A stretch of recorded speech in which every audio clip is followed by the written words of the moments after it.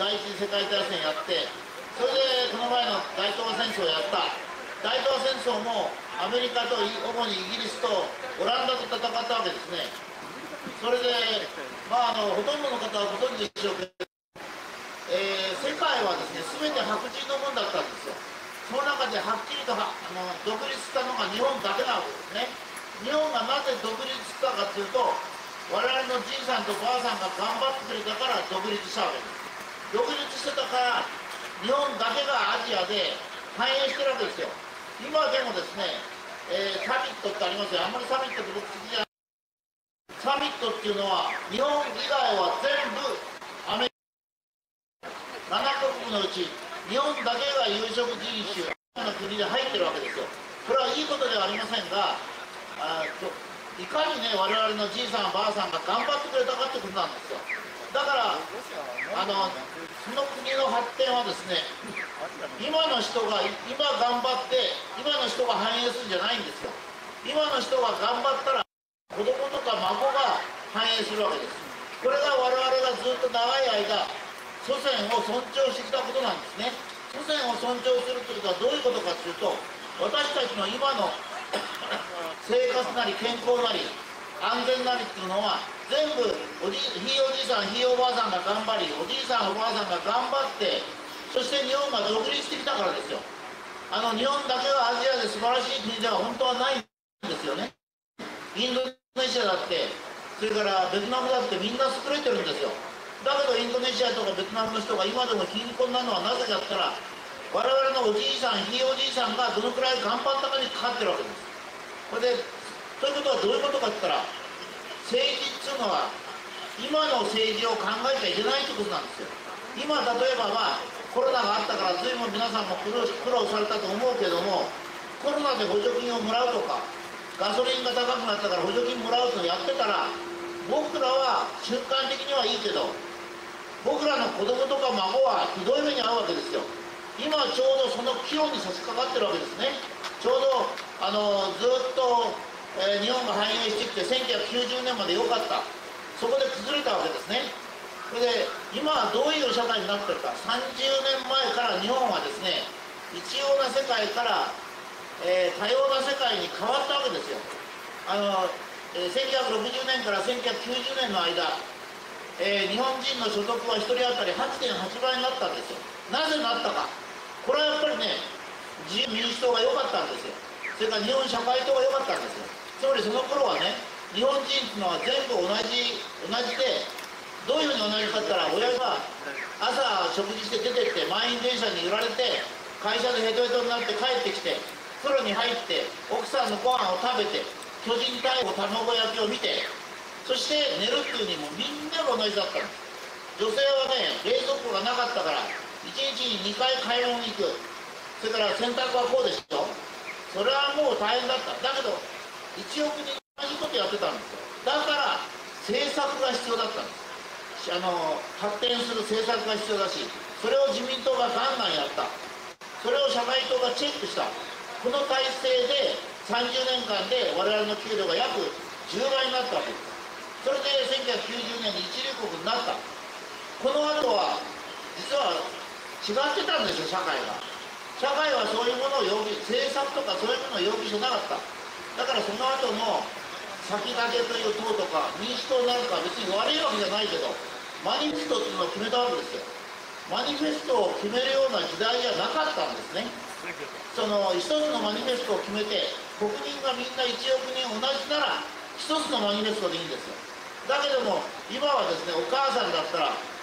えー、自分で子供を育てたいお母さんもいればあの保育所にあ預けて自分で仕事したいお母さんもいるわけですよ。それが今はね政策が1本だから。よくね僕聞かれるんですよ。参政党の政策ってどういうんですか？いやまだ決めてません。いや決めてませんと何決めてるかって多様化の方向に向かうということを決めてる。だけどもその中で何をやっていくかっていうのは党員の方とか国民の人が決めたものをこう吸い上げてね。そしてそれを政策にしていくっていう全然別の概念なんですこれはまだなかなか浸透しないので、えーと、参政党の政策は何ですかって聞かれるんだけどそこに実は皆さんの今後それから僕らの子供とか孫の今後があるわけじゃないんですよだからまあ例えばご婦人で言えば子供を自分で育てたい人には育てたいようにそれから保育所には仕事したい人は仕事できるように教育ではえーまんべんなく自分の子供にまんべんなく勉強させようをやらせたいっていう人は今の小学校ですよ。だけども、えー自分の子供は算数ができればいい国語ができればいいスポーツがいいピアノがいいっつったらそれに応じた小学校を2校に1校ぐらい作ればいいわけそしたらいろんな教育ですね特徴を生かした教育。今は例えばえなんかちょっと障害があるとあの多動性だとか何とかっつって病名がついてその子供を抑えるわけですよ。お母さん方は子供に対して愛情があるからどうしても今の教育だと小学校の間、えー子供はね嫌なことをずっと6年間やってくるんですよ。算数ができる子供に国語を教えあのお母さんが怒って漢字を覚えなさいってやるわけですよ。それで国語が得意な子には今度算数の分数をやらせるわけです。こういう時代はもう済んでるんですよ。この時代が必要だったのは日露戦争をするときに全員が兵隊として命令書を読めるようにしなきゃ。ちょっとした計算ができなきゃいけない。それであのかつての小学校の教育ができた。なんでまだ変わってないのかってことですよ。これは今政治がないからですよね。それから今やもう寿命もね今から100年前。今から100 年前の1920年には日本人の平均寿命は実に43歳なんです。男も女も43歳でしたその43歳の頃に決まった教育を教育とか社会体制が今でもやられてるんですよ。例えば年金ですね。年金でもこれは年金が正式スタートしたのは1961年ですけども年金でもですね昔人生が50年の頃とそれから今みたいに人生が100年の頃は50歳からあ0歳から50歳までの人と50歳から100歳まで全く違うんですよ。で今ね年金のも大きい。僕もまあ超アラアラエイっていうの？あ の僕も80歳ですからね僕。あ来月79ですからまあ80歳ですよ。ね。だから今はね0歳から50歳までの人生も楽しく50歳から100歳までの人生も楽しいっていう社会を作っていかなきゃいけないんですよ。だから若い人は今ね貧乏なのに年金を払って苦労してあ年取りは僕なんかでも働きたいのに全部定年になってしまう。お前後期高齢者だっつって僕後期高齢者なんですけど後期高齢者でですねひどい保険になっちゃうんですよ。だからこれはねなんでかって言ったら明治時代のその政策のままやってるからです。それで何やってるかってせっかく安倍さんが出てきてそれで憲法をみんなで考えようって言ったらなんかつまらないあ飲みかけとかそういう問題で潰されていく。一体ねあ日本には民主主義があるのかっていう感じなんですね。例えば我々が出るのも今一番大変なのはお金なんですよ。お金がなんで大変かったら僕らがお金をもらうんじゃないんですよ。僕らが立候補するときにね600万円もいるんですよ。600万円払えるって言ったらね非常に特殊な人です。それで日本以外の先進国ちょっと例に挙げますとヨーロッパアメリカですと日本の次に日本600万でしょ日本の次に選挙に出るのに金がかかるのはイギリスなんですけどそれは10万円ですよ。10万円。それからアメリカとかドイツは0円ですよ。だから誰でも勝てるんですよ。それが民主主義の根幹なんです。だからもうすでに日本は選挙制度自身ももう貴族政治なんですよ。もう決まったしか出れない。だから参政党なんか金がないからあ皆さんに少し錠剤をいただいて今やなんかあまだあの彼神谷さん来てないけど神谷さんの話によると神谷さんっていうのが、まあ、実際上、ね、あのこの党をやってるんだけどまあ2億1億7000万集まったかな？しかし1億7000万じゃ候補者出せないんですよ。じゃあ候補者に600万を払えっつったら払えない候補者で自分は政治やりたい人が出れないわけじゃないですか。だからもうね全体的に歪んでるんです。でこのまま現在の人気取りのこと自民党は昔は良かったんですよ。だけど今やコンビニエンス政党つまりね利権によってなんで自民党が大きくて野党が小さいかっていうと自民党は利権で固まってるから。利権なら全員が固まれるんですよ。だけど主義で主義で固まろうと思ったら今はね主義主張で大きな党を作ることはできないんですよ。つまり国民側が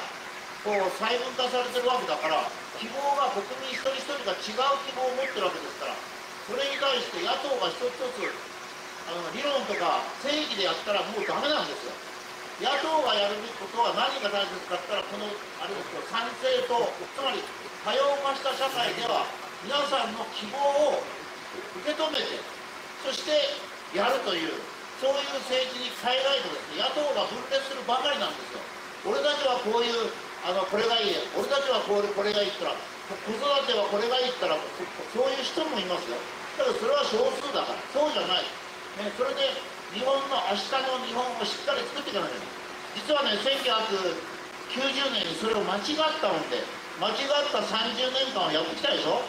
この間日本人の平均所得平均年俸っていうのは全く同じなんです。30年間同じ状態なんですよ。アメリカは3倍になったんですよ。あの中国の沿岸部は5倍になったんですだからもう中国にはるかに抜かれちゃってそうするとこの状態があと30年続いたらどうなるかっていうのは今もう計算されてます。我々日本はね産業がなくなっちゃうんですよ。だって僕らが小さい頃はパナソニックとかねそれから東芝なんて言ったら輝いてましたよ。トヨタもぐんぐん伸びてました。だから就職先があったんですよ。ところがもう悪いけどあの東芝もちょっとこけるしそれからあんな素晴らしいシャープなんていう国が台湾に買い取られるっていうね台湾の企業に買い取られる。これをこのまま見てたらね僕らはいいですよ。先ほど言いましたように政治っていうのは我々がやって我々の世代がメリットを受けるんじゃなくて我々の次の世代その次の世代があ親父はよくやってくれたなとおふくろはよくやってくれたなっていうのが政治なんですよ。それでこのままいったので日本日本人は今度、えー、電気自動車に急いで変えようとしてるじゃないですか。あれのことしたらねそれはトヨタ自動車とかホンダ技研が自分で判断するならいいですよ。だけども政治が変に介入して金もらえるからっつってそういうのに進んだらトヨタ自動車が例えば斜めになったらねあの労働者は何人が解雇されるかって言ったら600万人ですから。トヨタ自動車だけじゃないですよ。鋳造鍛造ワイヤーハーネス。そういった関連の会社に入った。そしたらね我々の子供たちはどうなるか、ね、もう電気電子関係はない。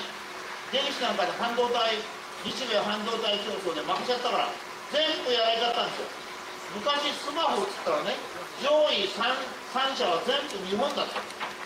今ね10位以内に1社も入ってないんです。よということは我々の子供たち孫たちの就職先を失うって言ってそしたらね我々の子供たちは中国のコンビニエンスストアに働きに出なきゃいけないってこと。それをやったのが誰かったら我々なんですよ。このままいけば。だから絶対に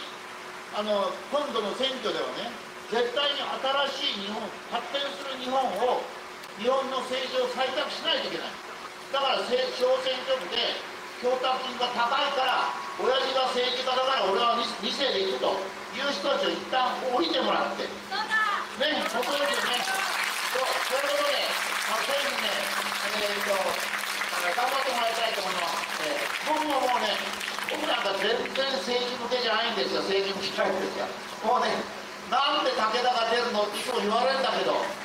今こそね今まで政治に関係ない人も出ないとねもう最後のチャンスでもうこれで出なかったら50歳以上の人も全部生活が奪われるしそれも奪われますからということでお願いします。えー